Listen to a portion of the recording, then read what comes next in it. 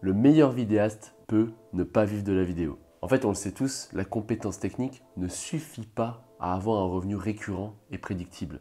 Ce qui vous aidera en revanche, ce sont bah, vos compétences à développer une structure commerciale solide, brique par brique. Dans cette vidéo, je ne vais pas faire de blabla et je vais vous donner 25 techniques testées et approuvées que je vais vous détailler pour vous aider à trouver de nouveaux clients en tant que vidéaste entrepreneur. Avant d'aller plus loin, deux choses. Dans la description, vous avez plein de bonus pour vous aider à obtenir un revenu récurrent et prédictible en tant que vidéaste entrepreneur. Donc je vous conseille tout simplement d'y aller et de regarder ce qui s'y trouve. Et la deuxième chose, c'est que nous proposons des appels exploratoires pour vous aider à débloquer une situation business. On en profitera pour parler de vous, de vos problématiques business, en tout cas vos problématiques à valoriser votre offre dans la prospection, l'entretien client, toutes ces choses-là. Et on pourra vous parler également du mastermind qu'on propose et mastermind avec lequel on aide des centaines de vidéastes à avoir un revenu récurrent et prédictible. Tous les liens sont dans la description, donc euh, sans plus attendre, on va reprendre les vidéos à l'ancienne, face caméra, on parle et je vais vous donner plein de techniques pour trouver des clients. C'est parti. Le networking. Alors, networker, c'est pas juste aller à des événements et distribuer des cartes de visite. En fait, dans les soirées networking, encore une fois, je vais le dire plusieurs fois dans cette vidéo, mais votre but n'est pas de vendre là maintenant. C'est plutôt de nouer une relation pour le après-événement. Donc, bah, si vous êtes en mode business, forcément, bah, vous allez juste euh, passer pour quelqu'un de lourd et personne n'aura vraiment envie de vous revoir après. On a tous connu euh, cette personne-là, euh, que ce soit dans une soirée networking même une soirée normale, qui prend énormément d'espace. Donc, on est super sympa avec lui, on lui sourit, on lui dit bonjour, on lui dit au revoir, mais on sait très bien qu'après, terminado, on n'entend plus jamais parler. Donc, pour moi, dans les soirées comme ça, je respecte toujours 5 règles simples me permettent de toujours réussir à faire des affaires. La première règle, c'est d'être authentique et sincère. Lorsqu'on fait du networking, ça va être crucial d'être vous-même et d'essayer de pas vous vendre à tout prix, en tout cas pas de jouer un rôle. Les gens vont apprécier l'authenticité et vont être plus enclins à nouer des relations avec des personnes sincères. Donc, bah, montre de l'intérêt pour les autres, soit à l'écoute, pose des questions, intéresse-toi à eux et euh, à leur activité, mais aussi à qui elles sont en tant que personne. Pour l'exemple, hein, moi j'ai trouvé des, clients à des soirées networking sans parler une seule fois de business de la soirée. J'ai parlé des choses que j'aime vraiment faire dans ma vie, comme bah, le sport, hein, je fais pas mal de sport, ou la guitare. Et euh, bah, certains avaient aussi en commun cette activité, donc on a pu pas mal échanger là-dessus. Et bah, facile derrière d'échanger les numéros pour organiser une de ces activités. Quoi. de toute façon, c'est pas grave si on trouve pas euh, un truc à faire là, maintenant, tout de suite. On est deux entrepreneurs. À un moment donné, ça va parler à faire. Mais il n'y a rien de pire qu'un entrepreneur qui arrive en mode gros forceur et qui s'intéresse à rien d'autre qu'à vendre sa prestation. Privilégier la qualité plutôt que la quantité. En fait, l'idée c'est au lieu de chercher d'accumuler un grand nombre de contacts et essayer de parler à tout le monde dans la soirée, concentrez-vous sur la création de relations solides et durables avec un petit groupe de personnes. Quelque part, il vaut mieux avoir quelques contacts de confiance avec qui vous pouvez collaborer et échanger régulièrement plutôt qu'une longue liste de connaissances. Identifiez les personnes à qui vous voulez absolument parler, repérez-les dans la soirée, engagez la conversation avec eux, puis bah, laissez aussi, euh, laissez-vous porter par le flow de la soirée tout simplement. N'essayez pas de discuter avec tout le monde, même si ça peut être difficile, c'est jamais vraiment productif. Donnez avant de recevoir.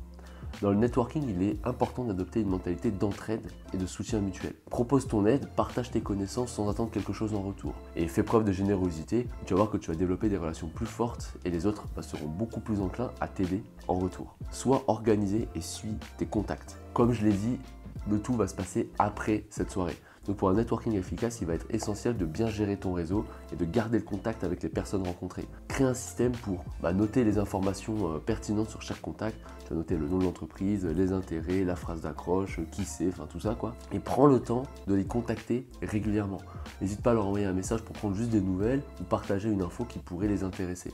Prépare-toi et adapte ton discours. Il y a peu, là, j'étais à un dîner d'entrepreneurs et euh, bon, c'était un système de repas, quoi. Il y avait une personne assise en face de moi qui m'a détaillé un peu son activité. Et franchement, j'ai rien compris à ce qu'elle faisait réellement. Il est assez crucial que les gens comprennent ce que tu fais. Donc en fait, l'idée c'est que tu sois clair, concis et percutant.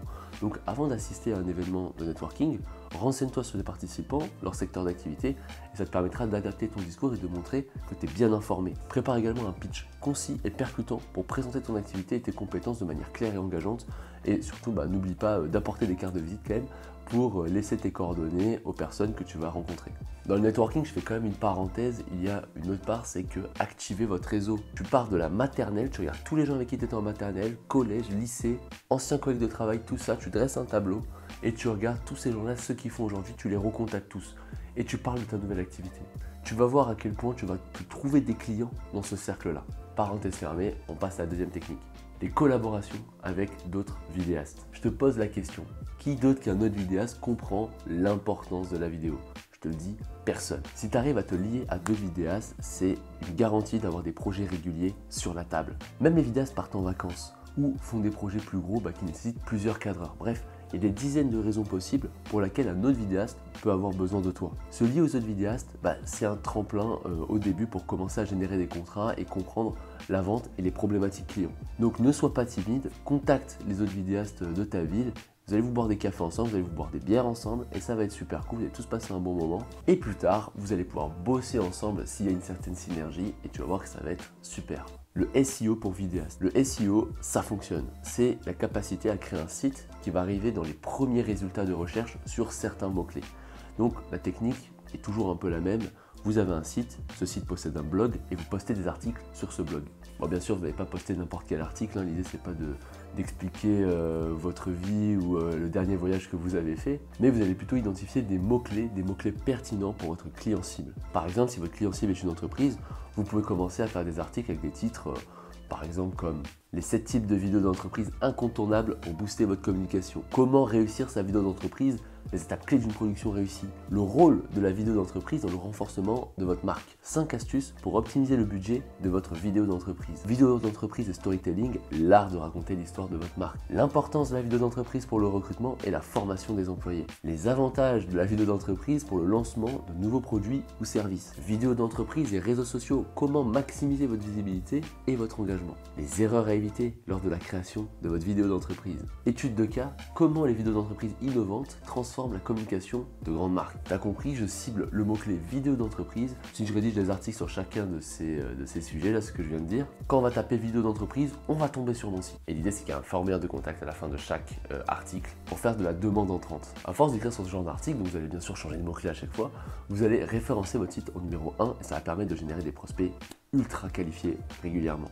LinkedIn. Imaginez un réseau social où tous les décideurs se trouvent. Un réseau où tous vos clients potentiels seraient accessibles. Et eh ben, je vous dis, ce réseau, ça existe. Ça s'appelle LinkedIn. Si aujourd'hui, votre client cible, c'est une entreprise, vous ne pouvez pas ne pas être sur LinkedIn. Je vais vous donner les 4 meilleures pratiques pour générer des leads grâce à LinkedIn. La première, elle est assez basique, mais franchement, faites-le, c'est optimiser votre profil. J'ai souvent cette question de est-ce qu'il faut créer un site internet ou non. Beaucoup de vidéastes pensent qu'il faut créer un site.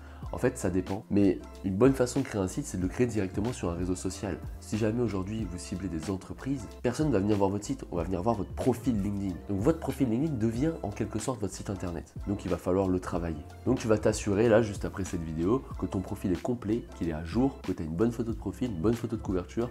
Et bah, le, plus important, le ça va être ce qu'on appelle la tagline. Là, c'est la phrase qui est en dessous de votre nom. Pour t'aider à l'écrire, il y a une formulation type que j'utilise qui est assez efficace, qui est X à faire Y pour Z, X c'est votre cible, Y votre solution et Z ça va être le bénéfice. Votre résumé est aussi important, je vous conseille d'utiliser la méthode AIDA pour l'écrire. AIDA c'est un outil mémotechnique pour attention, intérêt, désir, action. Dans un premier temps, mais il vous faudra une accroche forte en fait pour que la personne clique sur euh, voir plus. Ensuite, tu vas susciter un intérêt en parlant d'un problème en général, puis un désir en parlant de votre solution et bien sûr un appel à l'action qui sera en général pour un vidéaste un appel. Une fois que le profil est bien optimisé, ça va être temps de développer votre réseau. Donc vous allez ajouter tous les contacts qui paraissent pertinents avec un petit message hein, euh, pour, pour, la forme. Et pour les trouver, vous pouvez utiliser la barre de recherche en tapant juste CEO, en ajoutant vos anciens clients, vos clients actuels. Vous allez aussi ajouter les gens qui like et qui commentent les posts euh, des personnes euh, que j'ai dit précédemment. Les personnes que vous prospectez par mail, on y viendra après, vous pouvez aussi les ajouter sur LinkedIn.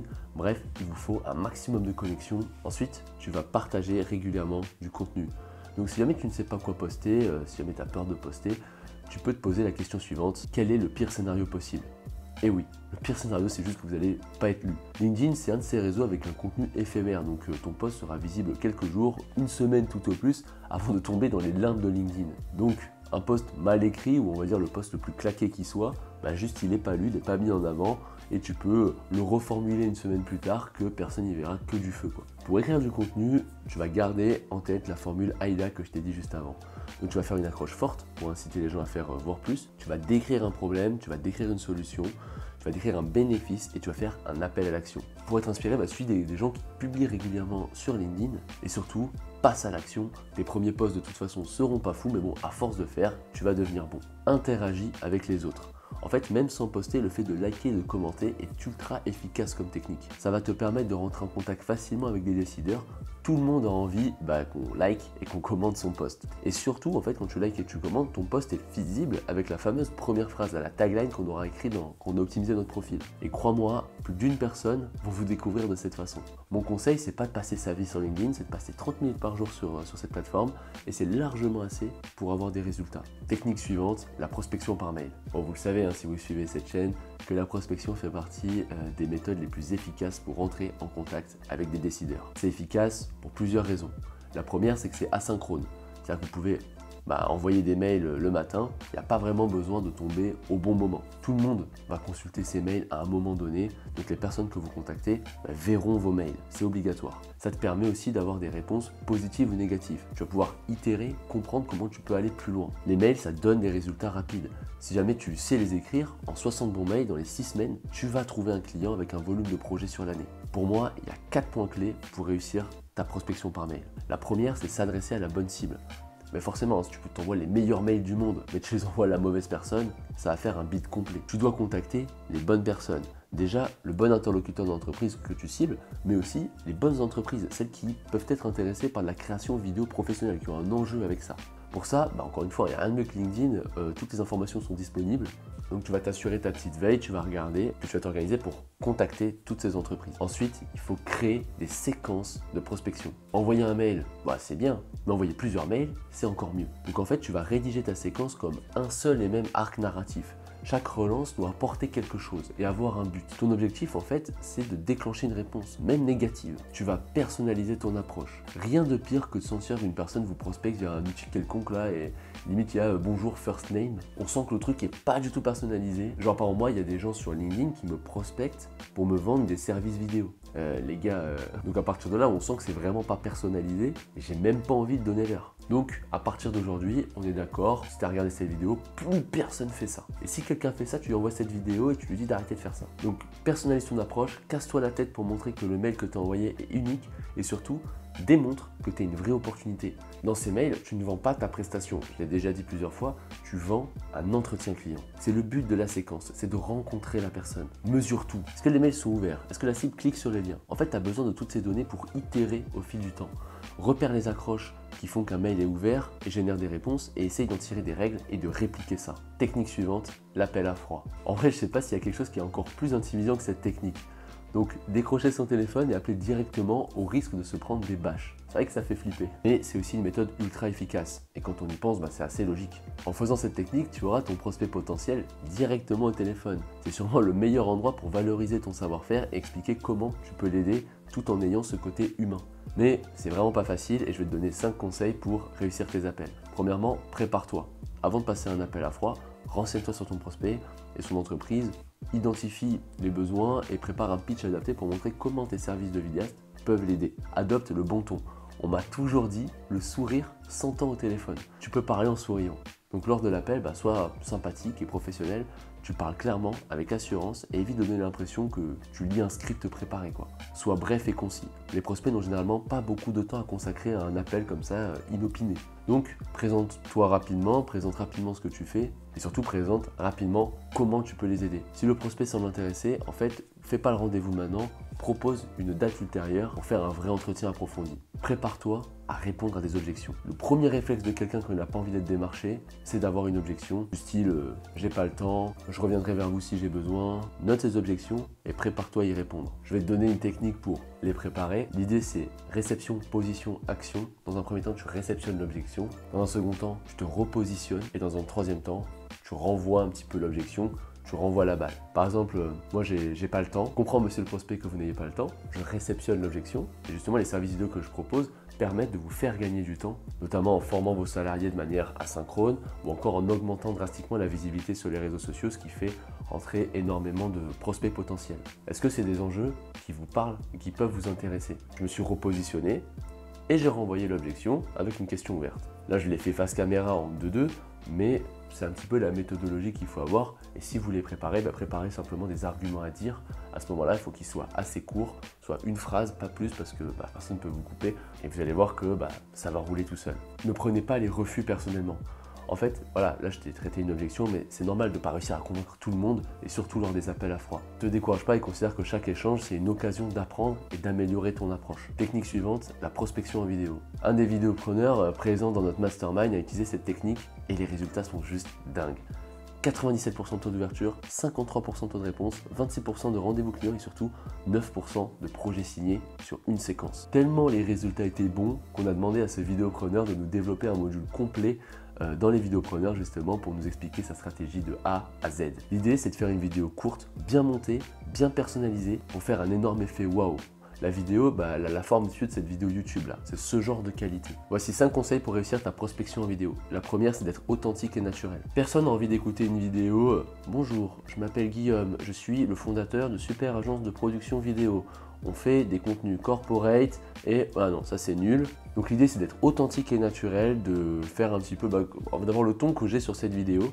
Donc lorsque tu te filmes, bah, sois toi-même, parle de manière naturelle. Les gens vont être beaucoup plus enclins à s'intéresser à quelqu'un qui leur semble sincère et authentique, vas-y, sois humain. Personnalise tes vidéos. Donc l'idée, ça va être d'adapter le contenu de tes vidéos en fonction du prospect que tu cibles. Donc tu vas mentionner le nom d'entreprise, tu vas mentionner euh, la personne que tu contactes, tu vas expliquer pourquoi tu penses euh, que tes services de vidéaste pourraient leur être utiles. Tu peux aussi mettre des images de leur entreprise, des vidéos qu'ils ont déjà réalisées. Bref, personnalise à fond. Garde tes vidéos courtes et percutantes. Ne fais pas des vidéos trop longues parce que bah, les prospects que tu vas contacter, ils n'auront pas 30 minutes devant eux pour regarder ta vidéo. Il te faut une vidéo de 1 minute, 1 minute 30 max. L'idée c'est que tu te présentes rapidement, t'expliques ce que tu proposes, euh, t'expliques pourquoi tu peux être une opportunité, tu vas donner envie de te recontacter, tu vas donner envie à la personne de prendre un entretien client avec toi et tu vas terminer par un appel à l'action justement. Et voilà, court, impactant, retiens ça. Utilise un bon matériel et surtout soigne la qualité de ta vidéo.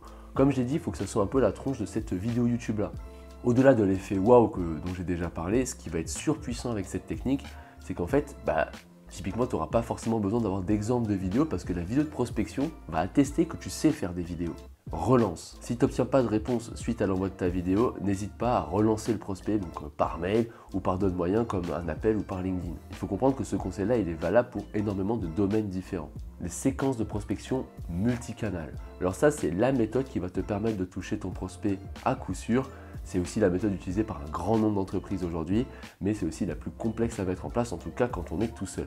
Donc l'idée, ça va être d'utiliser plusieurs formes de prospection pour toucher ton prospect, mais toujours en suivant un principe logique d'étape. Par exemple, bah, l'étape 1, ça peut être une visite de son profil LinkedIn. L'étape 2, ça peut être un mail. L'étape 3, ça peut être une demande de connexion. Euh, l'étape 4, ça peut être un second mail. Euh, l'étape 5, ça peut être un appel. Voilà, je pense que vous avez commencé, vous commencez à comprendre la logique.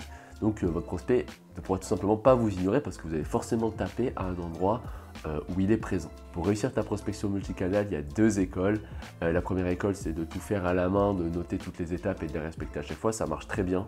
La seconde, c'est d'utiliser des outils. Attention à ne pas faire un truc usine à gaz. Mais je pense qu'il y a des outils que tu es un petit peu obligé d'avoir, notamment le premier outil, le premier type d'outil que je vais présenter. Tu dois avoir un CRM. Ça va être ton fidèle allié pour gérer et organiser tes contacts, suivre toutes tes interactions avec les prospects et toutes tes interactions aussi avec tes clients et planifier tes prochaines actions commerciales. Pour te citer quelques outils, il y a HubSpot qui marche bien, il y a Salesforce, Pipedrive, il y en a plein en réalité. HubSpot a une version gratuite qui marche très bien et ça peut être un bon début. Le second type d'outil que tu as envie d'utiliser, c'est un outil de gestion des mails. Euh, il y a des outils qui s'appellent MailChimp, Sendinblue, ActiveCampaign. En fait, ça te permet de créer et de gérer des campagnes d'email de façon parfaite. Toutes tes séquences, toutes tes relances, tout ça va être automatisé avec ce genre d'outil. Il y a Lemlist aussi qui marche bien. Apollo également qui fonctionne bien. En fait, il y en a plein. Euh, je te laisserai euh, regarder ça. Ces outils, tu vas les connecter à des outils d'enrichissement de données qui vont te permettre de trouver en fait les mails rapidement, comme euh, Drop Contact, Hunter.io ou Lucha ou Apollo qui le fait aussi. Le troisième type d'outil que tu vas utiliser, ça va être un outil pour interagir sur les réseaux sociaux. En fait, il faut que ton outil puisse envoyer des messages sur LinkedIn surtout ou sur Instagram, en suivant où se trouve ta cible. Il y a deux outils que je connais, il y a Phantom Buster et Wallaxy qui vont devenir tes meilleurs amis pour ça. Et pour faire marcher tout ça ensemble, alors souvent ces outils tu peux les connecter entre eux de base. Si jamais c'est pas possible ou que tu veux faire des choses plus complexes que les outils ne permettent pas, il y a un outil qui s'appelle Make ou Zapier, euh, les deux font un peu la même chose, mais qui va te permettre justement de connecter et de faire des actions. Parce que par exemple, des fois, tu veux juste un mail de rappel pour dire appelle ce prospect parce qu'il a telle étape dans ton tunnel de vente, et là tu dois l'appeler. Donc, euh, donc, voilà, et ça, ça va être faisable avec des outils comme Make. Par contre, attention parce que ça peut vite devenir des usines à gaz et l'idée c'est pas de bombarder les prospects ou de si vous faites une erreur, en fait, vous risquez de bombarder les prospects de mail, c'est pas trop votre idée quoi. Donc à avec précaution et passez pas 107 ans si vous savez pas faire, soit vous le déléguez, euh, soit vous le faites à la main. Mais franchement, euh, si vous voulez le faire vous-même, vous vous formez là-dessus, faites-le qu'une fois que vous avez des clients et que votre entreprise tourne, parce que c'est pas, ça va être très long en fait à créer ça quand vous partez de zéro, vous n'avez pas de connaissances dans ce domaine. Technique suivante, le vrai bouche à oreille. Alors le bouche à oreille, c'est un peu le truc sur lequel euh, bah, tout le monde se repose, mais personne ne comprend vraiment comment ça fonctionne. Forcément, dans le bouche à oreille, il y a une part d'aléatoire, hein, mais il existe des techniques pour le booster et on va en parler tout de suite. La première technique, c'est d'offrir une expérience client exceptionnelle. Il faut comprendre que vous n'êtes pas recommandé parce que vous êtes un bon technicien vidéo. Vous êtes recommandé parce que l'expérience client est bonne. Faites le calcul dans un restaurant. Imaginons un plat très bon, mais un service client, euh, vraiment c'est n'importe quoi. Vous êtes servi une heure après, on oublie constamment de prendre votre commande, on vous sert les mauvais trucs. Vous n'allez vraiment pas recommander ce restaurant versus un restaurant où la nourriture est peut-être un peu moins bonne, elle n'est pas excellente, elle est bonne mais elle n'est pas excellente, mais le service client est au top, bah, croyez-moi que ce restaurant-là va faire une meilleure impression pour vous et vous allez beaucoup plus le recommander. Donc ton expérience client, tu dois la travailler de ton système d'embarquement à la livraison de ta vidéo, au rendez-vous feedback ensuite, et avoir un chemin d'expérience client au top. Il faut que ton client soit parfaitement satisfait de cette expérience-là. Ensuite, sois à l'écoute de ton client et proactif dans le conseil et la création vidéo. Ce que je veux dire par là, c'est plusieurs choses. Premièrement, savoir conseiller son client par rapport à ses objectifs. Donc pour ça, il faut écouter son client, il faut voir c'est quoi son objectif, pourquoi aujourd'hui il veut faire de la vidéo. Je vais te donner un exemple, mais si ton client te dit je veux maximiser la visibilité sur les réseaux et là euh, j'ai une conférence, je vais filmer la conférence et je vais la diffuser comme ça sur LinkedIn, il faut être à l'aise pour lui dire que c'est vraiment pas la meilleure stratégie. Par contre, c'est pas une mauvaise idée d'aller filmer cette, conférence, mais ce qu'on va faire, c'est que cette conférence, on va la mettre par exemple sur YouTube et on va la découper en des vidéos de une minute avec euh, voilà le truc, le bon sous-titrage, nanana. Et puis ça, on va le mettre sur LinkedIn. Ça vous fait une quantité de posts, peut-être sur un mois, vous allez avoir euh, un post par semaine ou même limite euh, trois posts par semaine sur un mois. Ça va vous faire énormément de contenu, énormément de visibilité sur cette conférence-là. Et là, vous allez maximiser votre visibilité. Donc c'est en ça que je dis qu'il faut être proactif, c'est-à-dire qu'il ne faut pas hésiter à conseiller des vidéos différentes ou des stratégies différentes en fonction des objectifs du client. Et ça, ça va vraiment faire que vous allez être recommandé. Non pas comme un technicien vidéaste, mais vraiment comme un conseiller de confiance. Et c'est vraiment là où vous voulez vous situer. En tout cas, c'est ce genre de vidéaste qui peut facturer cher. Troisième technique, organise des événements et rassemble tes meilleurs clients. Ça, c'est un truc qu'il faut faire au minimum une fois par an. Tu prends tous tes meilleurs clients, tu prends le top 10, et tu fais, euh, tu prends une salle dans un coworking par exemple et tu fais une sorte d'apéro géant avec que tes meilleurs clients. Et tu vois que le fait qu'ils discutent entre eux, ça va créer des synergies business énormes. Parce qu'il y en a un qui va commencer à dire ouais moi j'ai travaillé avec Guillaume pour faire ça, l'autre va dire bah moi j'ai pas fait ça mais j'ai fait ça. Et du coup, bah, ça va donner des idées à chacun. Et je te jure que tu vas multiplier tes contrats comme ça. Forcément, il n'y a pas grand monde qui fait ça. Donc, euh, dès que tu fais ça, bah, les gens vont se dire euh, J'adore travailler avec cette personne. encore une fois, c'est partie de l'expérience client, pas de la technique vidéo. Technique suivante, les conférences. Dans toutes les villes, bah, il y a des conférences sur des sujets en lien avec la communication de manière générale. Et ça, c'est un excellent endroit pour rencontrer des décideurs. Ils y sont allez faire un tour, échanger avec les autres personnes et je vous garantis que votre carnet d'adresse va se remplir. Il va suffire de retrouver ces personnes sur LinkedIn et de les mettre dans des boucles de suivi. Et si vous avez envie, vous pouvez faire un petit discours sur scène vous allez parler de la communication vidéo en 2023, par exemple, ça peut être le sujet de votre conférence, et vous allez tout expliquer sur comment aujourd'hui on peut faire de la vidéo en entreprise, c'est quoi les bienfaits. Vous filmez tout ça, ça vous fera du contenu sur les réseaux sociaux, ça va appuyer votre expertise. Je vous jure que c'est une excellente technique pour trouver des clients. Et parler à des conférences, surtout ce type de conférence, c'est pas forcément, c'est difficile d'un point de vue personnel, mais en tout cas c'est pas difficile d'y accéder. Et moi je connais beaucoup de décideurs qui travaillent, qui gèrent des services marketing, qui vont à ce genre de conférences parce que bah, ont un enjeu de veille et eux aussi ils veulent faire du réseau pour s'ouvrir à d'autres opportunités, d'autres postes par exemple. Donc ils y sont, allez-y, ça va être un bon moyen de faire du réseau. Technique suivante, animer des ateliers. On n'y pense pas, hein, mais la vidéo c'est un sujet pour énormément de secteurs. Vous, vous savez en faire, donc euh, ça vous questionne pas, mais la majorité des gens ne savent pas en faire. Combien de fois j'ai vu dans mon coworking des euh, personnes qui travaillent dans le marketing, qui sont employées d'une boîte, et je les vois sur première plan en train de galérer donc moi je leur explique, je leur dis ah bah tu peux faire ça comme ça, comme ça, comme ça. Mais ils font des trucs un peu pétés et eux aussi en ont conscience. Il y a aussi pas mal d'entrepreneurs qui font ça un peu eux-mêmes. L'idée pour vous ça va être de créer et d'animer des ateliers pour aider les gens dans certains secteurs ou d'un certain type de poste à créer des vidéos. L'idée en fait ça va être d'appuyer ton expertise, de garder contact avec tous ces gens et ensuite proposer tes services. Et crois-moi, les décideurs, ils veulent pas faire les choses eux-mêmes, hein. ils cherchent juste les bonnes personnes pour déléguer. Et si tu veux faire des plus grands ateliers, tu peux te greffer en fait à d'autres secteurs d'activité, créer des ateliers tous ensemble, par exemple des rédacteurs SEO, des graphistes, des photographes, et vous allez animer les ateliers ensemble. Mieux encore, enregistre tout ça et ça te faire une tonne de choses à partager sur les réseaux sociaux et tu auras vraiment de quoi créer du contenu et appuyer ton expertise. Technique suivante, les salons. Bon, on le sait, hein, c'est pas facile. Tu te retrouves dans un salon rempli de monde, chacun euh, essayant un petit peu de se démarquer, de vendre son produit et son service. Et toi, tu te demandes bah, comment sortir du lot dans tout ça. Le problème vient souvent du fait que tu n'as pas de stratégie claire et que bah, tu te sens dépassé par l'ampleur des événements. Tu sais pas vraiment par où commencer, tu sais pas trop comment aborder les clients potentiels ou même euh, comment te présenter ou présenter efficacement ton offre. La bonne nouvelle, c'est que tu n'es pas le seul dans ce cas. Et encore mieux, il existe des techniques pour un petit peu optimiser la présence dans un salon et décrocher des contrats. La première technique que j'ai envie de te partager, c'est de prospecter les gens par email avant le salon. Donc en fait, l'idée c'est qu'avant le salon, bah, tu vas euh, récupérer la liste de tous les gens qui sont là et tu vas envoyer un petit mail. Tu vas les informer de ta présence, tu vas leur expliquer les avantages de te rencontrer lors de l'événement et euh, c'est pas un mail compliqué à écrire, c'est juste de dire bonjour, j'ai vu que vous étiez au salon, j'ai vu que vous avez fait ça comme dernier projet. Moi je m'appelle Guillaume, je suis le fondateur de telle agence de production vidéo et je serais ravi d'échanger un petit peu avec vous. On se voit au salon. Juste ça déjà. Comme ça quand tu arrives, t'es pas un inconnu. Pour vraiment appuyer le côté euh, humain personnalisé, t'envoies une photo de toi. Regarde, là j'ai un café, je fais comme ça, je marque son nom ici, hop, et je fais ça. Voilà, hop là. Pour les prospects plus intéressants, tu peux même carrément les appeler en fait et leur expliquer euh, directement au téléphone que tu vas venir au salon et que tu serais ravi d'échanger avec eux. Ça te permet de personnaliser ton approche, ça te permet de renforcer ta relation avec le prospect et de donner un petit peu un sentiment d'importance, ce qui va euh, augmenter tes chances lors de la rencontre de passer un bon moment. Ensuite, valorise-toi. Avant le salon, il faut un peu se préparer, rôde un petit discours pour te présenter. Alors l'idée c'est pas de manipuler ou de vendre à tout prix, mais l'idée c'est qu'on comprenne parfaitement ce que tu fais et qu'on comprenne surtout quel avantage on a à aller plus loin avec toi euh, pour, euh, par exemple, faire un, pour avoir un entretien commercial, par exemple, avec toi. On a tous connu, moi j'ai connu des gens dans des salons ou en général qui me parlent leur activité. Je leur demande de répéter dix fois, je comprends jamais ce qu'ils font. Il y a des gens, encore aujourd'hui, je comprends même pas ce qu'ils font. Parce qu'ils partent dans tous les sens, ils sont pas capables de m'expliquer concrètement, moi je suis client, comment tu peux m'aider? Donc avant le salon, tu fais un petit effort, tu prends un carnet de notes et t'écris comment tu peux aider le client en tout cas une petite une ou deux phrases que tu vas dire à chaque fois pour te présenter. On en a parlé dans le point 1, hein, mais l'objectif des salons, c'est pas de vendre, c'est impossible de vendre là comme ça dans le salon. Or ça peut arriver, mais c'est plus de la chance que de la technique. Donc tout l'enjeu, c'est de relancer les gens après.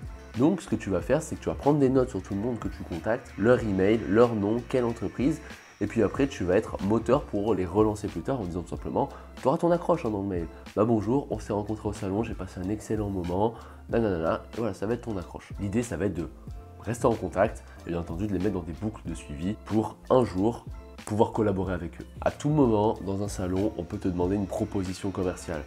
Moi, je te conseille d'en avoir une proposition commerciale un peu type sur toi. Tu peux créer une proposition commerciale où il n'y a pas de nom, il n'y a pas de prénom, que tu remplis par exemple au stylo. Et c'est un truc un peu type où tu peux cocher euh, certaines offres qu'il y a, euh, par exemple pour créer des vidéos. Après, bien entendu, ça c'est quand tu as une offre un peu établie. Si jamais tu débutes, ça va être très compliqué de créer cette proposition commerciale. De toute façon, je te recommande pas forcément de le faire. Mais ça peut être intéressant parce que bah, dans les salons, des fois, vous tombez sur quelqu'un qui a un besoin assez immédiat ne serait-ce que bah, filmer le salon en fait. Bah voilà, moi je suis là, je suis vidéaste, est-ce que ça vous dit que je filme votre stand? Et comme ça, ça va vous créer de la visibilité, vous, pour vos réseaux. Et là, tu as une proposition commerciale directe et sur toi pour faire cette présentation. ça, je viens de l'inventer en enregistrant la vidéo, mais ça peut être euh, quelque chose à proposer. Mais de manière générale, dans les salons, tu vas, tu te mets en mode journaliste, tu veux prendre des infos, tu veux poser des questions. Tu veux pas trop, tu parles de ton offre évidemment si on te le demande, mais pose des questions. C'est quoi le problème de l'entreprise? C'est quoi leur objectif à l'année? C'est quoi leur objectif au trimestre? Euh, est-ce qu'ils ont déjà fait de la vidéo S'ils n'ont pas fait de vidéo, pourquoi S'ils ont fait de la vidéo, bah, comment ça s'est passé euh, Quand ils font, ils veulent, je sais pas, si demain ils cherchent un prestataire, c'est quoi leur, euh, leur façon de raisonner C'est où est-ce qu'ils vont le chercher ce prestataire En fait, tu veux prendre toutes ces infos là. Et ensuite, tu vas connecter ta solution, la vidéo, à leur problématique et convenir d'un après. Technique suivante, faire ses suivis. On en a parlé assez là depuis le début de cette vidéo, mais il y a encore de nombreux vidéastes entrepreneurs qui donnent pas d'importance au suivi, même qui en font pas du tout. Or peut-être c'est par manque de temps ou simplement par négligence, mais c'est là que la plupart des opportunités se perdent. Il y a une stat qui dit que 80% des opportunités se prennent au troisième suivi. Ce serait quand même bête de perdre des projets tout simplement parce que tu n'as pas fait tes suivis parce que tu as oublié ou parce que tu as eu la flemme. Je te jure qu'en les faisant régulièrement, tu vas être étonné du nombre de prospects que tu signes juste en les relançant régulièrement. Et à quel point c'est facile. Mais bon, la véritable origine du problème souvent réside, pardon, dans la peur du rejet ou la peur de déranger. Je te dis peut-être, euh, je les dérange en les relançant, comment les relancer Mais en fait, rappelle-toi juste une chose, tu apportes une valeur inestimable à tes clients potentiels. Et pas un escroc. Tu es là pour résoudre leurs problèmes et leur offrir une expérience exceptionnelle. Alors, laisse pas cette peur t'envahir, tu n'es pas un imposteur, tu fais tout au mieux pour rendre tes clients heureux, il n'y a pas de raison d'avoir peur, tu vas pas les déranger. En fait, pour parler de la solution, ça va être essentiel de mettre en place une organisation rigoureuse pour tes suivis. Tu vas utiliser des outils tels que bah, calendrier, Google Agenda, ça marche très bien. Tu vas aussi utiliser un CRM, ça va vite être important d'utiliser un CRM pour suivre un petit peu tout le monde, voir où est-ce que tu en es dans la relation. Tu vas créer des petits modèles d'email personnalisables, tu vas préparer peut-être des appels vas... En fait, l'idée c'est de garder le contact. Et quand tu te demandes quoi envoyer, mais demande juste des nouvelles. Il n'y a même pas besoin de se casser la tête. Bonjour, ça fait un mois et demi qu'on s'est contacté. Je voulais voir quels étaient les nouveaux enjeux de votre entreprise. Est-ce que vous avez pu euh, penser à la création vidéo? Voilà, au plaisir de vous lire. C'est bon, ça suffit. Pour faire tes suivis, ce que je te recommande, c'est de bloquer un jour par semaine full business. Par exemple, pour moi, alors moi j'ai deux jours, c'est mardi et jeudi. Tu peux te bloquer que le jeudi, et le jeudi, tu vas dans ton CRM, tu checkes tout ce que tu dois relancer, tu relances tout le monde. Boum, boum, boum, boum, boum, boum. Le jeudi, c'est là aussi, par exemple, que tu vas faire tes entretiens clients. Et c'est là aussi que tu vas faire ta prospection. Donc en fait, suivant ton volume, ça peut être un jour ou deux jours. C'est sûr que si jamais euh, tu as énormément de demandes entrantes, plus faire un jour que deux. Peut-être moins prospecter de nouveaux clients, mais plus faire que des suivis et relancer les anciens clients. Mais si jamais aujourd'hui, tu ne vis pas de la vidéo, fais au minimum deux jours, voire même tous les jours. Ton enjeu principal, c'est de trouver un client, donc euh, vas-y à fond. Mais plus tard, tu te bloqueras deux jours, puis vraiment si tu tournes, un jour, mais c'est un jour minimum. Technique suivante, les newsletters. Si tu pensais que les newsletters c'était complètement mort, en fait ça reste le canal de conversion numéro 1 encore aujourd'hui. L'idée générale, c'est toujours la même, c'est de créer une audience sur une base mail. Donc en fait, tu vas avoir plein de mails à qui tu vas envoyer régulièrement des données. C'est pas de la prospection, c'est des gens qui ont consenti à recevoir tes mails. Et l'idée, c'est d'apporter de la valeur dans le but derrière de générer euh, des clients via cette newsletter. Le fonctionnement, c'est toujours un petit peu la même chose. La première étape, c'est d'acquérir des adresses mail, que des gens te donnent volontairement leur mail. Et pour ça, il va falloir créer ce qui s'appelle un lead magnet. Un lead magnet, c'est quoi? Tout simplement un document que ton prospect trouve intéressant et qui voudra vraiment télécharger. Le lead magnet est toujours gratuit, enfin gratuit, il est contre l'adresse email. Un exemple de lead magnet, ça peut être, euh, je sais pas moi, les 45 types de vidéos et leur avantage pour euh, mieux communiquer avec votre entreprise. Voilà, ça c'est un lead magnet. Une fois que tu l'as créé, il va falloir le diffuser sur les réseaux sociaux. Donc tu vas sélectionner un réseau, le réseau bien sûr où est ton client cible, hein, ça sert à rien de prendre un réseau où il n'est pas là parce que automatiquement, de manière logique, ça n'a pas marché. Mais par exemple, si tu cibles des entreprises, là, si on reprend le lead magnet juste d'avant, bah, tu vas aller par exemple sur LinkedIn et tu vas communiquer à balle. Et à chaque fois, ton appel à l'action, c'est télécharge euh, le document, les 45 types de vidéos et leur avantage pour mieux communiquer en échange du mail. Et comme ça, tu vas engranger plein d'adresses mail. Après là j'ai fait un peu un truc euh, général mais tu peux euh, spécialiser tes lead magnets, en fait tu peux en avoir plusieurs. Les trois stratégies vidéo pour devenir le roi de la marque employeur, ça marcherait aussi très bien. Et ensuite une fois que tu as fait ces lead magnets, que tu les as diffusés, que tu as l'acquisition en place, on va passer à l'étape 2. L'étape 2 ça va être la planification du contenu. Donc il va falloir régulièrement envoyer des mails pertinents et se fixer surtout une régularité. Donc l'idée c'est qu'il va falloir encore s'organiser, donc tu vas te faire un calendrier, tu vas t'assurer euh, de t'y tenir et tu vas écrire tous tes mails en avance. L'étape 3 ça va être l'écriture. Ton mail ne doit pas être nul à lire. Forcément, si ton mail n'est pas intéressant, bah, ça sert un peu à rien de faire ça. Première étape, tu dois captiver et garder l'attention de ton audience. C'est un truc qu'on t'apprend pas à l'école parce que bah, ton professeur, lorsqu'il lit ta copie, il est obligé de la lire. Sache que ton audience, elle n'est pas obligée de lire ce que tu écris. Si elle a mieux à faire, elle fera autre chose. Donc, il faut vraiment faire attention à la forme, que ce soit bien écrit ou en tout cas que ce soit écrit de façon à donner envie au prospect de lire. Donc, tu vas devoir rédiger tes contenus de manière captivante et engageante tu vas utiliser un ton personnel et convivial pour te connecter à tes abonnés, tu vas, je sais raconter des histoires, poser des questions, tu vas inciter à l'action, tu vas partager des informations précieuses, tu vas apporter de la valeur ajoutée euh, à tes lecteurs, bref, tout pour être intéressant. Étape 4, l'envoi régulier. Comme la prospection, l'idée c'est d'être régulier. Utilise les outils d'automatisation pour planifier tes envois à l'avance et être régulier dans tes communications. J'en ai parlé, mais ActiveCampaign, Sendinblue, System.io, MailChimp, tous ces outils-là font parfaitement ça. Et MailChimp, en plus, je crois qu'il y a 500 abonnés gratuits, donc il est gratuit jusqu'à 500 abonnés, tu peux faire de la newsletter. Étape suivante, ça va être l'analyse et l'optimisation. Ce qui est bien sur ces outils, c'est que tu as un milliard de statistiques. Donc l'idée, ça va être d'analyser toutes ces statistiques et de prendre des décisions. Tu vas pouvoir, euh, je sais pas, tester euh, différentes, euh, différents objets, différentes mises en page, différents types de contenus, et tu vas voir lesquels fonctionnent le mieux pour les répliquer. Écoute les feedbacks des abonnés et implémente-les tous. Technique suivante, système des webinaires. Tu te rappelles là avant, euh, je t'ai parlé d'une technique de création d'atelier. Bah maintenant, tu vas faire la même chose, mais en ligne. Le webinaire, c'est exactement un atelier en ligne. La technique est la suivante. Tu prends un sujet. Euh, pour la vidéo, j'en prends un bateau. Comment utiliser la vidéo marketing euh, dans une entreprise de la tech? Voilà, par exemple. Tu vas diffuser ton webinaire. Donc là, il y aura deux stratégies, soit la stratégie organique ou la pub payante. Organique, c'est tu vas sur les réseaux sociaux, tu diffuses, tu payes pas, en gros payante, tu euh, payes pour que la publicité soit visible. Quelle que soit ta stratégie, l'idée c'est d'avoir des inscrits. Quand tu as des inscrits, tu vas pas en une dizaine, une quinzaine, une vingtaine, tu vas diviser ton webinaire en sections claires et engageantes. Comme pour tous les contenus, tu vas commencer par capter l'attention dès le début, puis tu vas développer ton contenu en fournissant de la valeur, en proposant des solutions concrètes, et enfin tu vas terminer par un appel à l'action convaincant. Autre conseil, tu es vidéaste. C'est un énorme avantage pour les webinaires parce que les webinaires que j'ai déjà vus ou que je vois les gens suivre, c'est une webcam de PC moche, un son qui est horrible à écouter, et les personnes qui sont devant qui, peinent un peu comme ça. Donc tout est moche. Toi, mets-toi un petit setup sympa. Tu te mets un petit setup comme ça, même si tu ne filmes pas avec ta caméra, ou alors tu mets le cam link machin pour avoir une belle image, mais sinon, euh, si tu as ton, ton PC, tu te mets une belle light machin, tac, c'est stylé, il y a un bon son, il y a un bon micro, et le webinaire est agréable à écouter. Et en plus, ça va appuyer ton expertise qui va être euh, tout l'enjeu de ce webinaire. Ensuite, il va falloir engager avec ton audience. L'idée, ça va être de faire en sorte que ton webinaire soit interactif. Donc, tu vas poser des questions, tu vas peut-être faire des petits ateliers, tu vas encourager les commentaires, tu vas organiser des sessions de questions-réponses. En fait, l'idée, c'est que le public se sente impliqué et valorisé. Et tout ça, je te jure que les webinaires, c'est une technique éprouvée euh, pour vendre. Parce que quand tu as tout un tas de directeurs marketing qui ont participé, ont posé des questions, tu as eu réponse à tout, tu les as fait participer entre eux, quand ils voudront déléguer, ils voudront déléguer au meilleur et dans leur tête, le meilleur, ça va être toi. Technique suivante, participer à des événements. Dans toutes les villes, il y a des tonnes d'événements qui rassemblent les personnes d'un même secteur ou les entrepreneurs entre eux. Perso, j'étais à un événement comme ça il y a genre une semaine. Ces événements, c'est un bon moyen de faire du réseau et de trouver des clients potentiels. Voici quelques conseils pour trouver des clients dans les événements. Premier truc, identifie les bons événements. En fait, il y a un truc avec les événements, c'est que si jamais tu veux, en faire, tu peux en faire un par soir si tu veux. Sauf qu'il y en a plein qui sont pas pertinents pour toi. Donc déjà, tu vas te demander lesquels sont pertinents pour ton activité. Et quand je dis pour ton activité, ceux qui rassemblent tes clients potentiels ou ceux qui rassemblent des connecteurs à ton client potentiel. Demain, tu as un événement qui rassemble les wedding planners de la région. Bah, c'est intéressant que tu sois parce que toi, tu vas pas vendre au wedding planner, mais tu peux vendre des vidéos de mariage. Et les wedding planners, bah, c'est des connecteurs logiques pour vendre à, des clients qui veulent des vidéos de mariage. Donc tu as un intérêt à y être. Donc en fait, tu vas réfléchir comme ça, où, est ton client potentiel? Pour identifier les bons événements, alors là, c'est pas une obligation, mais je sais que les vidéastes, des fois, vous avez du mal à investir de l'argent. Mais sachez que les événements gratuits, c'est pas forcément les meilleurs. Et je vais te donner une raison simple, c'est que les événements gratuits, ça attire des gens qui veulent du gratuit. Quand tu vas arriver et dire que ta prestation coûte 2000 euros, bah sache qu'il y a déjà eu un filtre à la base qui fait que les gens qui sont là, bah, ils, voulaient du gratuit, ils voulaient pas payer. Donc euh, ça va être beaucoup plus compliqué de vendre. Par contre, tu vas à un événement où le ticket d'entrée c'est 20 000 euros, je te donne un truc abusé, mais tu n'as que des gens qui ont payé 20 000 euros pour être là.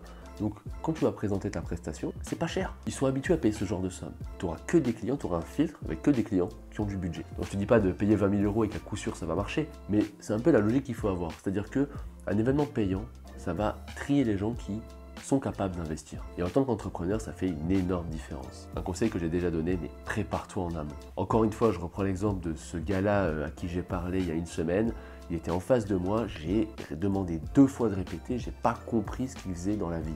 Il y a des personnes, je travaille avec eux au coworking, je ne comprends pas ce qu'ils font. Pose-toi la question sur Imagine qu'on est en face à face, là, c'est moi qui suis en face de toi, je te, pose cette question, je te dis, Imaginons que je suis un de tes clients potentiels, qu'est-ce que tu peux m'apporter? Il faut que la réponse à cette question elle soit claire, nette, concis, percutant. Conseil suivant, soit actif et engageant. Une fois sur place, il faut être proactif. Les événements, c'est pas fait pour tout le monde. Il y a peut-être des gens qui sont un peu introvertis, c'est pas dans votre façon de faire euh, d'aller vers les gens. Et vous, effectivement, vous n'allez peut-être pas être à votre place ici, mais en tout cas, pour les autres, sachez qu'il faut être proactif, il faut aller vers les gens. Tu te présentes, t'engages la conversation et surtout, euh, évite de pitcher ton activité à tout le monde, écoute ce que font les gens. Pose des questions, parle en question. Dis-toi que tu dois avoir le moins d'affirmations possible. Parce qu'il y a deux raisons euh, pour aller dans les événements. La première, c'est effectivement trouver des clients. La deuxième, c'est trouver des contacts professionnels qui vont se transformer en partenaires plus tard. On ne sait pas de quoi demain est fait. C'est toujours bien d'être lié aux entrepreneurs, mais de lier de vraies relations. L'idée, c'est que la relation continue après cet événement. Si tu t'intéresses pas aux gens, on n'a pas envie de s'intéresser à toi.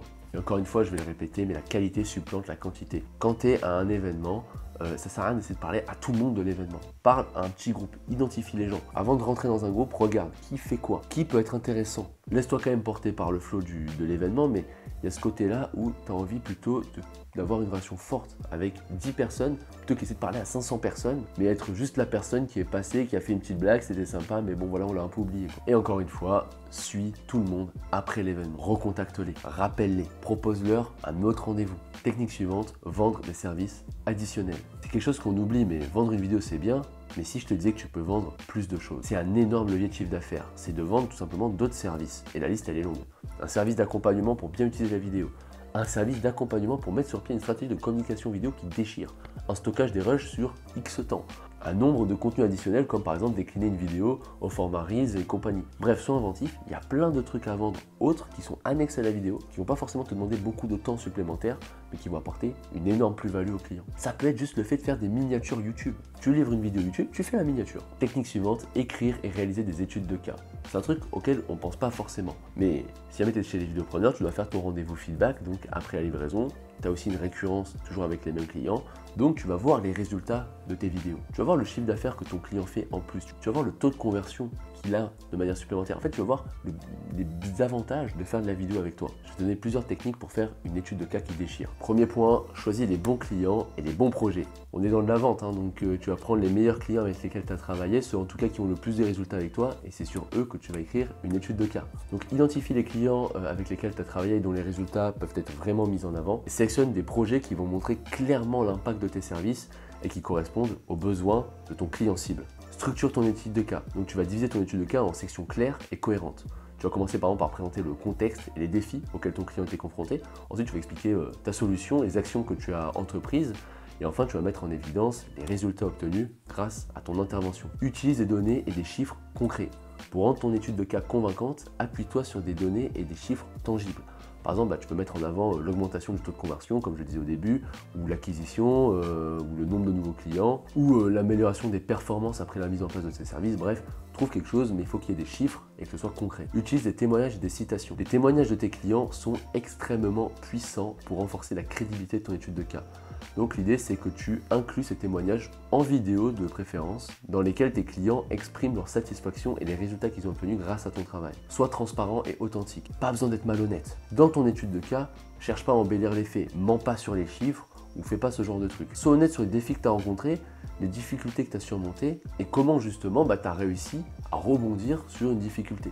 Une fois rédigé, bah, partage ton étude de cas. Ça va faire du bon contenu sur LinkedIn, peux la mettre sur ton site. Bref, utilise dans ta communication, tu l'utilises de partout. Ça pourra même faire un mail de prospection. En général, moi, je le mets vers le mail 3 ou 4, mais ça va vraiment appuyer ton expertise. Technique suivante, créer un podcast. Le podcast, on l'oublie, mais c'est un outil surpuissant. Alors, c'est pas un outil d'acquisition. Il va falloir trouver un autre moyen de le diffuser. Mais en fait, une fois qu'une personne vous écoute, vous êtes sûr que c'est qu'une question de temps avant qu'il devienne client. La force du podcast, ça réside dans le fait de pouvoir inviter facilement d'autres entrepreneurs qui va développer votre réseau. Donc voici quelques conseils. Premièrement, définis ton objectif et définis à qui tu t'adresses avec ton podcast. Avant de te lancer, bah, identifie clairement l'objectif de ton podcast. Est-ce que tu veux euh, éduquer tes auditeurs, donc tes clients cibles, hein, tes futurs clients, sur l'importance de la vidéo, les aider à résoudre des problèmes spécifiques ou je sais pas, les inspirer? Ensuite, tu vas définir ton client cible, à qui tu t'adresses, et tu vas adapter ton contenu en conséquence. Choisis ton format et ta structure. Donc, je sais pas, dans ton podcast, tu peux faire des études de cas, est-ce que tu vas être tout seul, que vous allez être deux, est-ce que ça va être plutôt des témoignages clients, ça va être des conseils pratiques, ou tu es tout seul et t'expliques, euh, ça va être des interviews, à toi de voir. Sachant que faire tous les formats en même temps, ça risque de faire un peu fouillis, donc tu en prends quelques, tu peux prendre par exemple deux formats, que tu fais régulièrement, ça va vraiment être les deux formats que tu vas toujours mettre en avant. Encore une fois, il va falloir s'organiser, planifie ton contenu stratégique, établir un calendrier de publication régulier. Encore une fois, il va falloir s'organiser tu t'organises, tu fais un planning éditorial, tu fais un tableau euh, sur Notion, ça marchera très bien, en disant que tous les lundis, par exemple, tu publies un podcast. Intègre des appels à l'action. Sur un podcast, il est écouté. Très souvent, les gens ne vont pas lire la description. Donc, il faut que tu dises ton appel à l'action. Je te conseille d'en faire deux. Un au début de ton podcast, un à la fin de ton podcast. Donc, une structure typique, tu peux présenter ton sujet et dire voilà, bonjour, aujourd'hui, on va parler de l'importance de faire de la marque employeur. Et on a euh, Jérémy qui est avec nous. Et euh, Jérémy, il a mis en place une stratégie de marque employeur en vidéo et ça a ultra cartonné. Donc, il va nous donner euh, un petit peu ses retours là-dessus. Avant de commencer, euh, sachez que vous pouvez réserver un appel avec notre agence Super Production, justement fait de la marque employeur. Donc si jamais vous avez un enjeu comme Jérémy à développer votre marque employeur, le lien pour réserver un appel est dans la description. Sur ce, je vous embête pas plus. On commence avec l'épisode de Jérémy. Voilà, moi j'ai l'habitude parce que j'ai les vidéopreneurs, donc on le fait souvent. Mais c'est l'idée, au tout début, tu, donnes cette phrase et à la fin, tu peux dire quelque chose comme Merci d'être encore là. Donc, si tu es encore là, c'est que tu as sûrement un enjeu à développer ta marque employeur. Sache que tu peux réserver un appel, blablabla. Euh, ton appel à l'action, ça peut être soit l'appel, soit un lead magnet. Donc ça, il faut revenir un tout petit peu avant dans la vidéo pour voir ce que c'est. Euh, pour intégrer ta newsletter, newsletter dans lequel tu vas vendre un appel donc voilà, ça fait juste un tunnel de vente plus long, mais euh, ça peut être aussi euh, intéressant pour avoir des prospects plus qualifiés. Invite des invités pertinents. Ça, c'est vraiment la force du podcast, c'est que tu peux un peu inviter n'importe qui.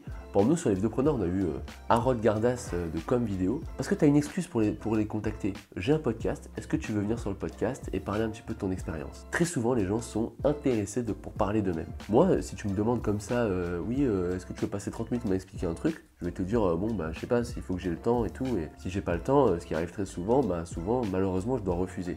Par contre, tu m'invites sur un podcast, bah moi, carrément que je viens. Je trouve ça trop cool de passer sur des podcasts. Et la force de ça, bah, c'est que toi, ça va développer ton réseau. Tu vas pouvoir inviter des gros dirigeants d'entreprise, par exemple, qui vont partager leur expérience. Et toi, bah, tu seras en pole position pour euh, communiquer avec eux et possiblement vendre tes services auprès de cette cible. Ou même être recommandé. Faire la promotion de ton podcast. Promouvoir un podcast, c'est pas évident parce qu'en fait, tes podcasts, c'est pas un outil d'acquisition. Il n'y a aucun effet algorithmique sur les podcasts. C'est pas comme YouTube où bah, tu peux être mis dans une boucle et d'un coup, tu es recommandé à plein de gens. Le podcast, il n'y a pas de recommandation. Ça ne marche que par de la recherche. Il faut que la personne recherche. Donc l'idée, c'est de faire la promotion de ton podcast sur les réseaux sociaux. Il y a un truc qui est trop fort. Toi, tu es vidéaste, tu vas savoir le faire facilement.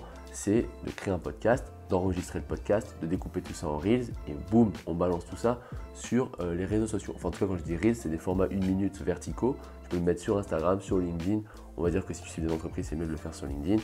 Mais en gros, il va falloir trouver un moyen de faire graviter un écosystème un peu autour du podcast. L'acquisition logique, ça va être ce genre de contenu qui attire vers le podcast, podcast qui attire vers un appel ou qui attire vers un newsletter, newsletter qui euh, vend un appel, appel euh, qui va être votre système de conversion et qui va vous permettre d'avoir des clients. Technique suivante, utiliser des plateformes de freelance pour fidéliser un client et l'embarquer sur des projets plus gros. Les plateformes de freelance, c'est pas énorme si jamais tu comptes uniquement sur ça pour avoir des projets. Tu auras rarement des gros projets sur une plateforme de freelance. Souvent le prix est un énorme enjeu, tu es comparé en fait un peu par rapport à ton prix. Ton objectif, ça va être de sortir de la plateforme. Donc il va falloir développer deux choses. Un système de conversion efficace et surtout, je vais répéter, et faire vos suivis. Il va falloir relancer tous ces prospects régulièrement. Donc l'idée, par exemple, tu es sur Malte, tu te fais contacter sur Malte, tu fais une petite mission, ok, tu vas vraiment euh, avoir un enjeu plus tard de dire, voilà, moi j'ai, euh, c'est important de faire des rendez-vous feedback pour voir comment ça s'est passé. Là-dedans, tu vas qualifier les objectifs de la boîte, moyen, long terme, court terme. Tu vas prendre plein d'infos, puis derrière, tu vas leur proposer des prestations peut-être plus grandes, mais qui vont beaucoup plus les aider à atteindre ces objectifs. Tu vas devenir, tu sais, d'exécutant, donc sur Malte, tu vas être un exécutant, à conseiller de confiance. Et ça peut être une source d'acquisition extrêmement intéressante de prospects. Technique suivante, intégrer des groupes de discussion. Il y a plein de groupes de discussion entre entrepreneurs ou même entre vidéastes, et si ça n'existe pas, bah, tout simplement, tu peux le créer. L'idée, ça va être de faire du réseau, faire du réseau pour avoir des clients. Si tu animes un groupe de vidéastes, euh, sois sûr que le jour où l'un des vidéastes a besoin d'un deuxième cadreur, bah, il va penser à toi. Donc, s'il n'y en a pas qui existent dans ta ville, et certainement qu'il n'y en a pas, sois leader et sois régulier dans les rendez-vous. Un rendez-vous par mois dans un restaurant, c'est cool, c'est sympa. Le rendez-vous est léger, on échange autour de la vidéo, autour de nos expériences passées avec les clients, autour de l'actualité business, et c'est toujours un moment convivial. À Toulouse, là où, moi j'habite, il y a un groupe qui se rassemble, euh, il y a plein de vidéastes dedans, donc je sais pas trop si je peux en parler euh, là, mais euh, si la personne m'y autorise, on pourra même le présenter en vidéo parce que bah, le groupe est super cool et la personne qui l'anime est super cool aussi. Technique suivante, les publicités ciblées payantes. Je vous mets en garde, ce n'est pas magique. Beaucoup pensent que c'est magique, il suffit de payer et boum, il y aura des clients. Euh, c'est un peu plus compliqué que ça. Mais effectivement, si jamais vous vous y intéressez, que vous utilisez ça correctement, ça peut vraiment faire des merveilles. Et vous pouvez générer quand même pas mal de clients avec ce biais-là. Pour ceux qui ne savent pas, c'est tout ce qui est lié au SEA. Le SEA, c'est quoi? C'est tout ce qui va être publicité payante sur les réseaux sociaux. Donc euh, Facebook Ads, euh, Instagram forcément qui est lié à Facebook, LinkedIn, Google Ads, qui est aussi YouTube. Donc c'est les pubs que vous avez vues peut-être avant cette vidéo là, ou pendant, ou euh, les pubs sur Facebook ou Instagram que vous voyez très régulièrement. Bah, l'idée c'est de mettre votre pub ici, mais d'aller cibler une audience qui pourrait être intéressée pour la création vidéo et boum, vous allez générer euh, des leads comme ça. Un lead, c'est pour rappel un prospect. L'énorme avantage, c'est que vous avez un retour sur investissement très direct en fait. C'est-à-dire si jamais vous mettez en place une stratégie, vous pouvez vite voir si elle est rentable ou non parce que tout est chiffré et tout est très rapide. C'est-à-dire que vous pouvez mettre votre offre devant votre client directement en tout cas quand vous savez le faire. Mais je vais vous parler de plusieurs bonnes pratiques pour faire parce qu'il suffit pas juste de dire bonjour j'ai une offre vidéo à vendre, voilà mon offre, euh, ça ça fonctionnera pas. Il y a toute une stratégie à mettre en place et on va en parler tout de suite. Comme je l'ai dit, vous pouvez pas juste dire bonjour je vends mes prestations vidéo, ça ça fonctionnera pas. La stratégie la plus connue et celle la plus utilisée c'est de découper son tunnel de vente en trois parties. Le premier c'est ce qu'on appelait le top of funnel, donc le début du tunnel de vente, le milieu et la fin. Tu ne vas pas faire de la pub de la même façon au début qu'à la fin. Comment ça fonctionne concrètement Si jamais je te donne une stratégie par rapport un peu à tout ce qu'on a dit euh, dans cette vidéo, on peut estimer que ton top of funnel, c'est ton lead magnet. Donc ton idée, c'est que tu vas faire de la pub pour que les gens rentrent sur ta liste email. Tu n'es pas rentable là tout de suite là-dessus, mais ton, idée, c'est que les gens vont rentrer sur ta liste email et vont s'inscrire à cette newsletter. De là, toi, tu as une base de données de gens qui ont effectué une action qui sont potentiellement intéressés. Donc ce sont des gens qui sont déjà beaucoup plus qualifiés. Une fois que tu as ces gens-là, tu vas les recibler avec une autre pub qui est mis en avant par exemple ton webinaire. Bien sûr, tu ne fais pas que de la pub, tu as aussi une démarche très active sur ta newsletter d'attirer les gens sur ton webinaire. Donc le webinaire, c'est ce qu'on a vu un peu plus euh, avant. Une fois que les gens ont assisté à ton webinaire, tu vas recibler tous les gens qui n'ont pas acheté, boum, et là tu vas par exemple les cibler euh, avec euh, une offre bien spécifique parce qu'on estime que si jamais ils ont téléchargé ton lead magnet, ils sont venus dans ton webinaire, c'est des clients vraiment intéressés pour la création vidéo, donc tu ne veux pas les lâcher. Et c'est la stratégie que tu vas mettre en place. Maintenant, ce qui est bien, et quand tu mets en place ce genre de stratégie, tu ne vas pas mettre en place qu'une seule C'est-à-dire pas une seule annonce top of funnel, pas une seule au milieu et pas une seule à la fin. L'idée, c'est que tu vas commencer à faire ce qui s'appelle de l'AB testing. Ce qu'il faut savoir avec les pubs payantes, c'est que c'est des maths. Donc, par exemple, tu vas prendre une audience, qu'on va appeler audience A là dans l'exemple de cette vidéo, en top of funnel. Tu remarques que cette audience, le coût par lead, c'est-à-dire le coût que tu dois dépenser pour que quelqu'un télécharge le lead magnet, c'est par exemple 3 euros. C'est une bêtise. Et tu remarques aussi qu'en fait, il y a une autre audience à côté, tu as fait un test sur une autre audience, c'est pas 3 euros, eux, c'est 1 euro. Donc tu imagines que tu as une rentabilité de 3 sur cette audience. Donc en fait, quitte à mettre du budget, mets le, mets le paquet là-dessus. Et après, tu vas prendre chaque euh, étape et tu vas regarder. Donc peut-être la personne qui télécharge le lead magnet, c'est 1 euro en entrée. Par contre, en fait, elle va jamais plus loin. Quand on va plus loin, cette même audience, bah, je sais pas, c'est x2 sur, euh, sur le webinaire. Donc c'est-à-dire qu'elle ne se rend jamais au webinaire. C'est pas une audience vraiment qualifiée. Donc tu vas prendre toutes ces métriques. La métrique la plus importante, c'est en gros le taux d'impression et le coût par lead et le taux de conversion. Il n'y a pas de secret, il faut juste faire des tests. Donc tu vas faire tourner 4-5 pubs en même temps en testant différentes approches. Il y en a une par exemple avec une image, des textes différents, des accroches différentes, des vidéos différentes qui présentent ton offre de façon différente, et ce sur toutes les étapes du tunnel. Et tu vas toujours prendre les audiences bah, qui convertissent le mieux et tu vas supprimer les autres, tu vas essayer de répliquer ce qui fonctionne et ainsi de suite. Ce qui marche le mieux, tu prends, tu répliques, ainsi de suite, ainsi de suite, jusqu'à arriver à quelque chose qui est ultra rentable, avec un énorme retour sur investissement.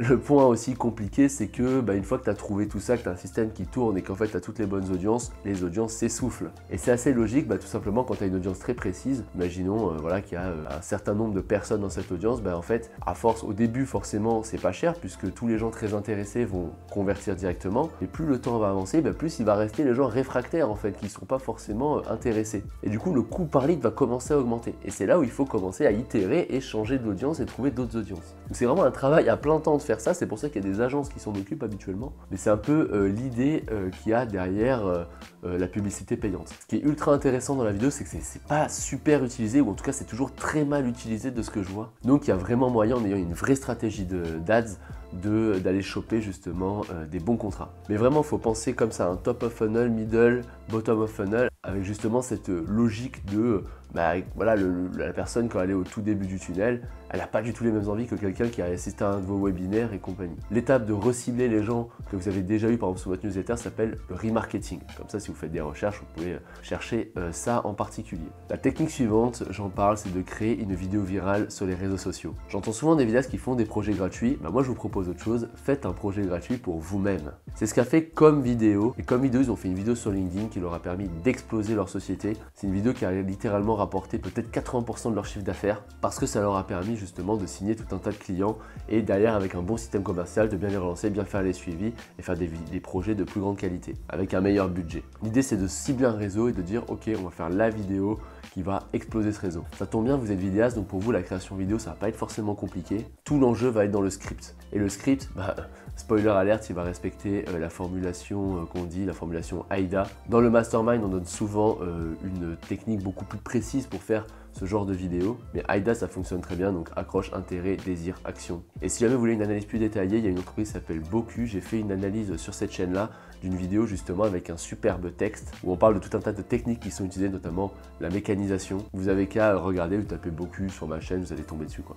Se joindre à des meet-up. Alors cette technique, elle va être très proche des événements. En fait, ça va être les mêmes stratégies qui vont devoir être déployées, sauf que c'est un autre terme, c'est meet-up. En fait, ce que je voulais euh, vous dire, c'est juste que les gens se caractérise pas forcément les événements par événement. Donc ça va prendre tout un tas de noms, euh, meetup, conférences, ateliers. Il y a un site qui s'appelle meetup.com il me semble, et là-dessus, enfin en tout cas à l'époque je sais pas si ça existe encore, mais, là-dessus il y avait un peu tous les meetups de, des villes, et c'est une sorte d'apéro géant où les gens qui ont un point commun ou qui sont du même secteur vont se réunir. Et c'est un excellent moyen de faire du réseau et potentiellement de décrocher des contrats. Et encore une fois, je vais quand même le rappeler, il y a plusieurs paramètres à prendre en compte. Premièrement, la qualité sera mieux que la quantité. Essayez pas d'aborder tout le monde, restez focus sur un groupe de personnes. Intéressez-vous sincèrement aux gens, parlez avec eux de leur business potentiellement, de leur vie aussi en tant que personne. Et après ce meetup là, il faut être un peu moteur pour continuer de les suivre. Et c'est dans ce moment-là que vous allez commencer vraiment à signer des deals ou en tout cas à rencontrer des partenaires intéressants. Technique suivante, assurer une veille d'événement pour tomber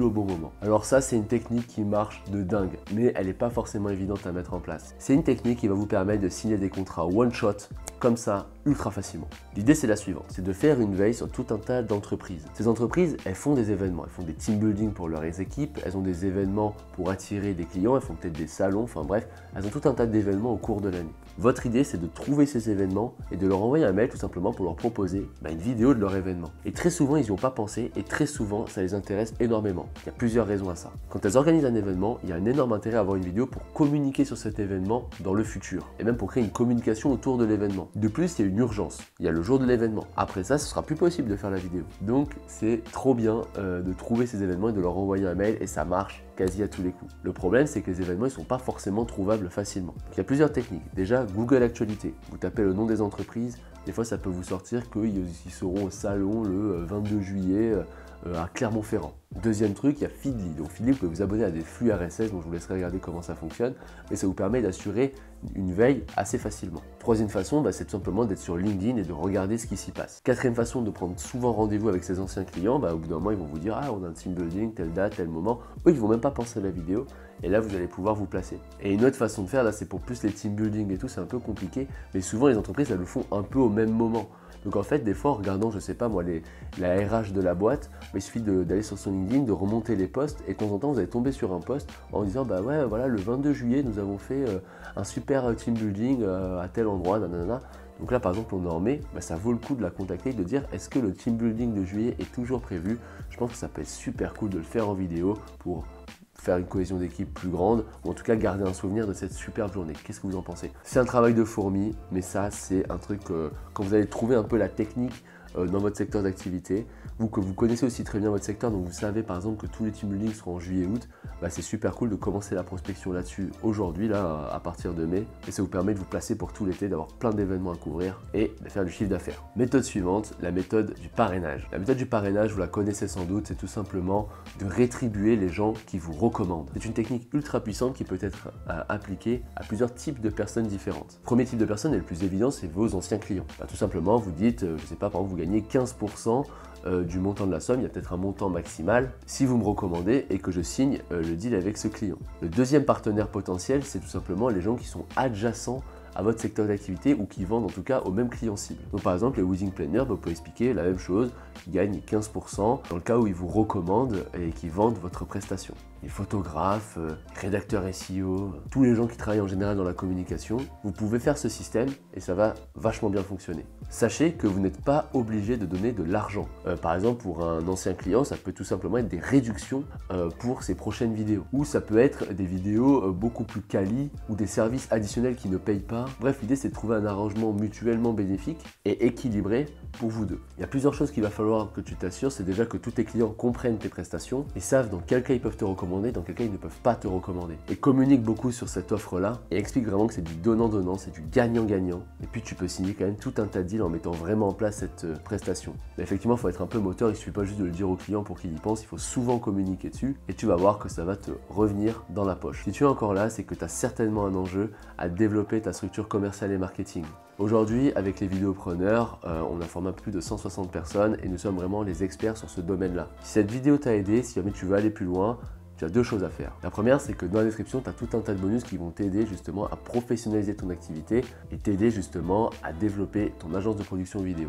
La seconde, c'est que tu peux réserver un appel, on pourra discuter de toi, de ta situation business, de tes résultats, on pourra voir peut-être ce qui coince si des choses coincent. Surtout, on pourra te présenter notre offre, le Mastermind des vidéopreneurs, pour t'aider justement à te structurer d'un point de vue commercial et marketing, pour t'aider à atteindre tes objectifs. Sur ce, moi je vous laisse là, je vous dis à bientôt, soyez heureux et faites des clients heureux, et on se revoit bientôt.